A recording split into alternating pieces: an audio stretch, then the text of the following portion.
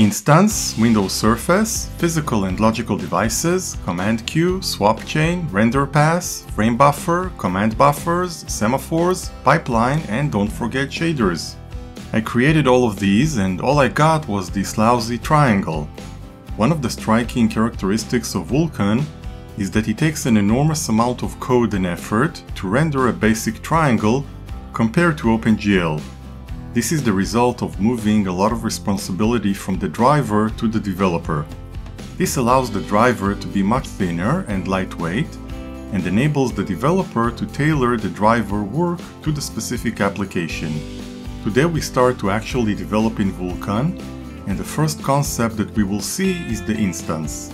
You can consider Vulkan to be a subsystem in your application and the instance represents the gateway to that subsystem and also contains its state. Most people who work with OpenGL are used to initialize the API using a library such as glfw or FreeGLUT.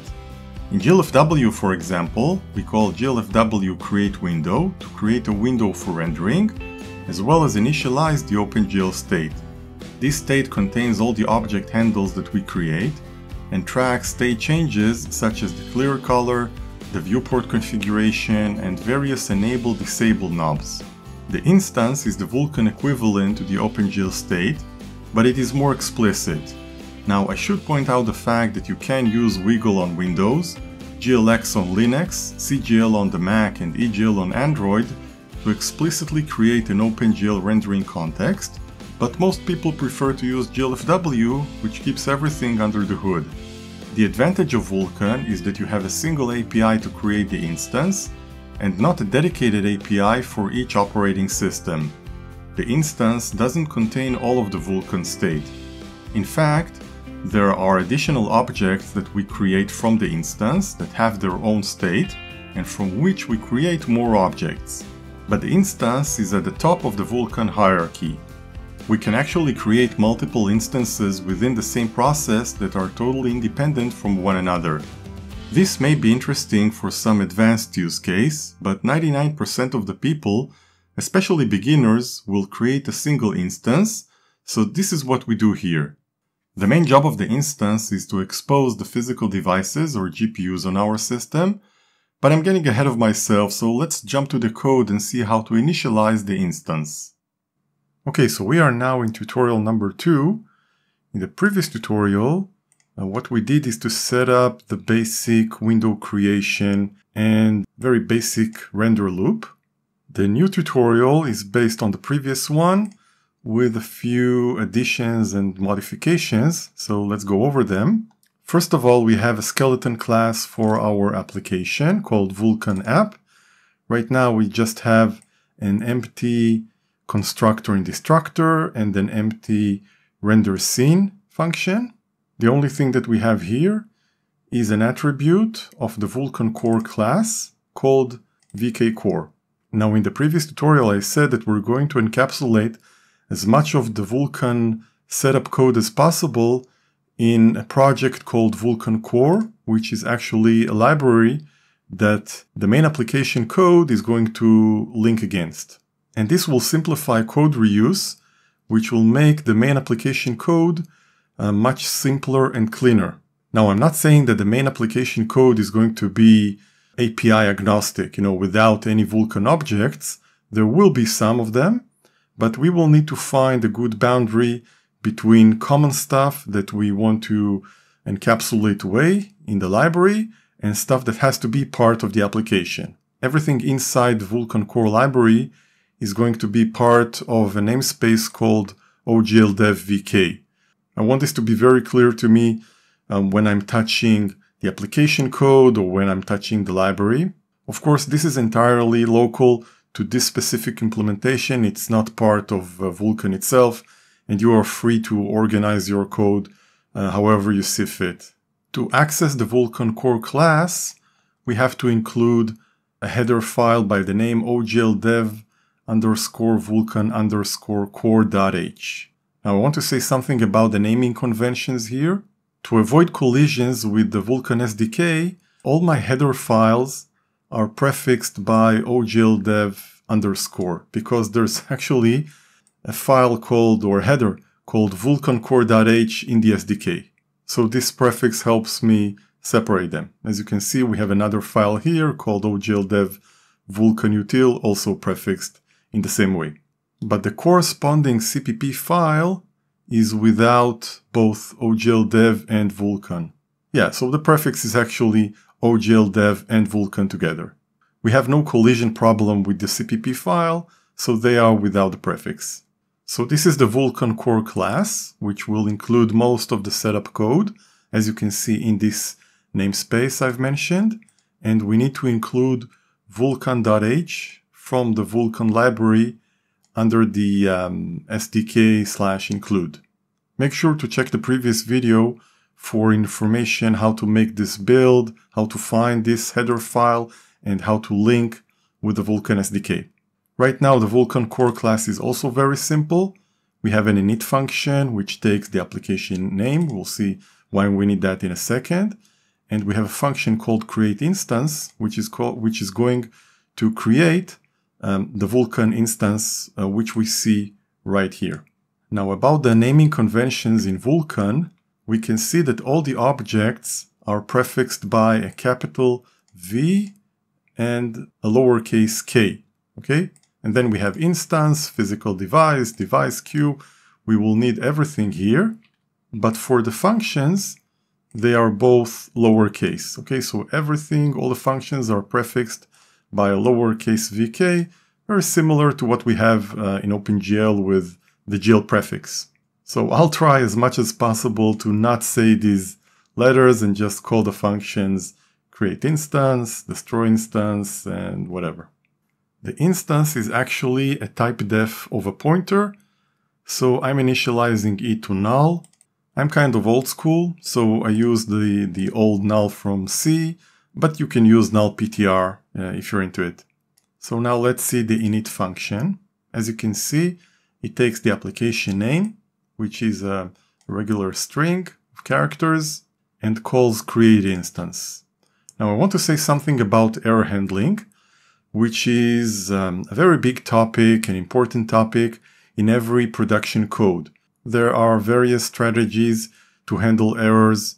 You can, for example, propagate the error back to some central location where you take care of it, or you can throw an exception if this is C++, and there are other strategies. So error handling is important, but it also makes the code uh, much more complex. And since this is an educational series, I want to keep everything as simple as possible because we're going to have a lot of complexity from Vulkan anyway.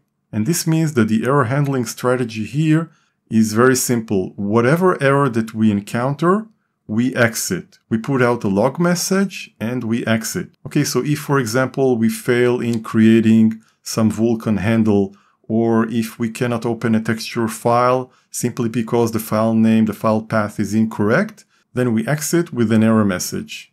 And this is why most of my functions are either void or they return something concrete which is not an error because I don't propagate the errors backwards. As I said, we just exit. Again, this is my thing and you can go your own way. So we are in the create instance function and let's jump to the end where we call create instance, which takes the address of a create info structure, which we will see in a second. And then there's an optional pointer to an allocator object.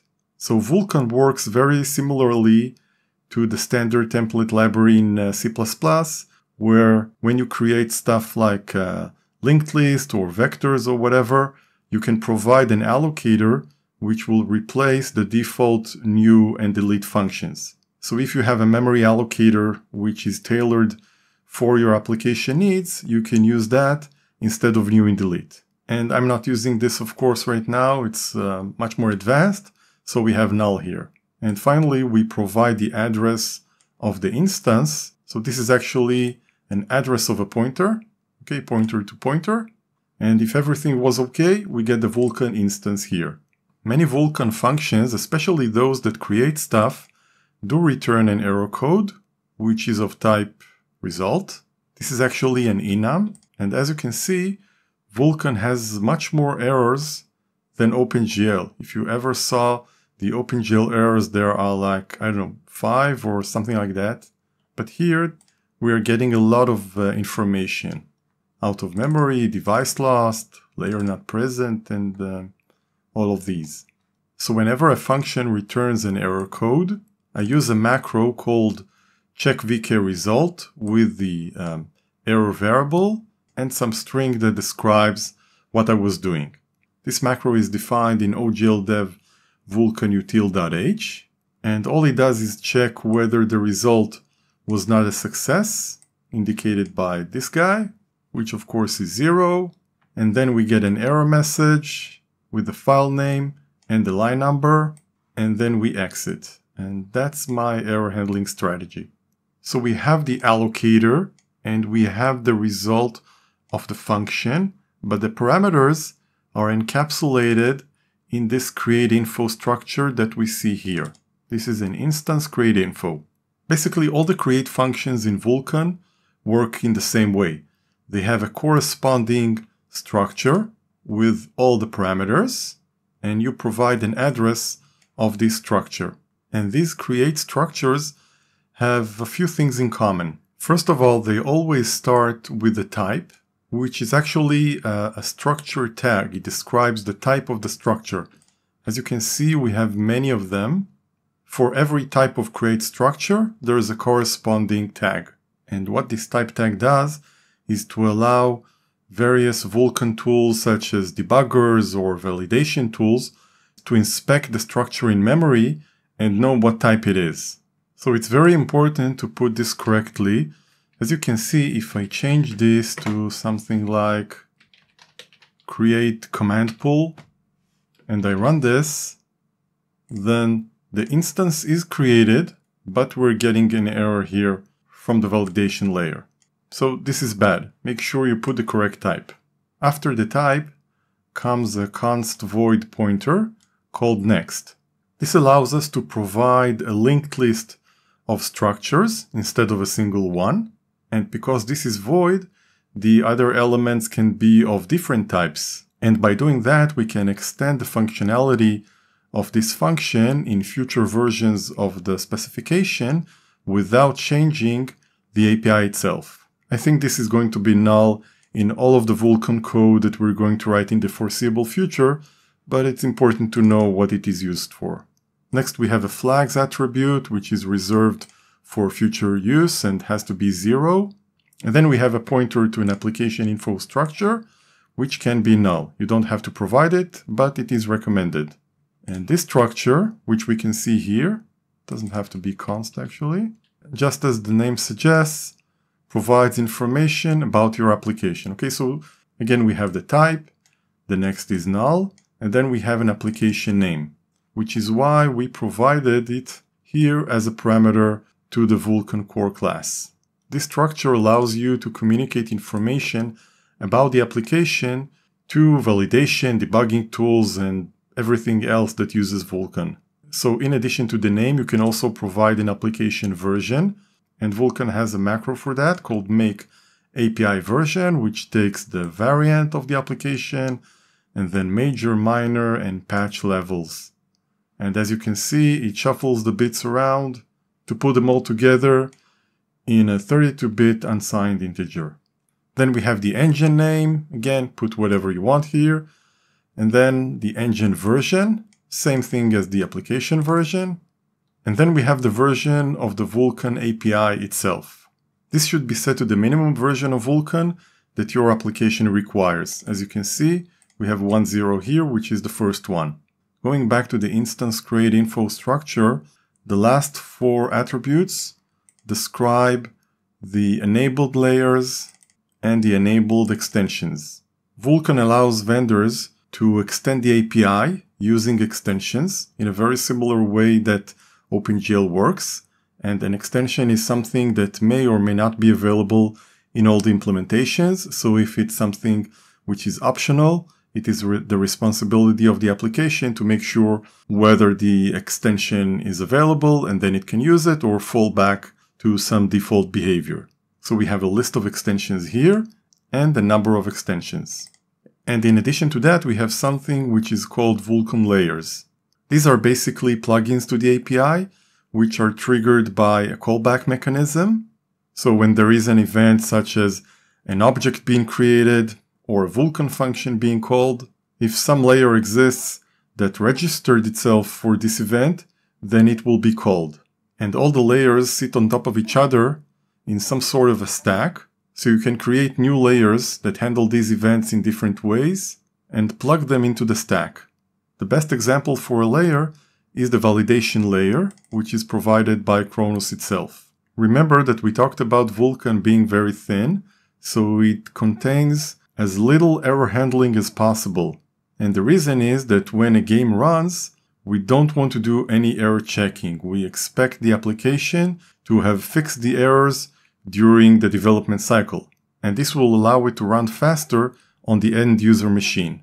But during development time, we want to have as much error checks as possible because there's going to be a lot of errors with, with Vulkan and we want to be notified about them so we can fix the error. So right now our layers array contains a single layer and we also have a few extensions. We need a surface extension so we can create the window and we need the Win32 surface if we are on Windows and for the Mac and Linux, we have a corresponding Surface extension. And we also want to use the extensions debug utils and debug report, which allows us to get a callback into the application uh, when stuff happens inside Vulkan. So if this function call fails, we will exit the application here. And if not, we will get this nice log message. Okay, let's go back to the main function where we now have an instance of Vulkan app. We initialize it with the name of the application, which is the same name that was used to initialize the window. Not very innovative. In the render loop, we make sure the render function of the app is called, even though right now it doesn't do anything. This will be used in the near future, I promise. Let's run this. And as you can see in the terminal, a Vulkan instance was created. If you want to keep things clean, you also need to destroy the instance, which we do in the destructor. We provide the handle for the instance and null for the allocator. Let's see if it works. If we close the window, we can see that the Vulkan instance was indeed destroyed. Okay, so we now have our first Vulkan instance. In the next video, we will use the validation layers to create debug callbacks, which will be very useful for debugging. Thank you guys for watching and I will see you next time.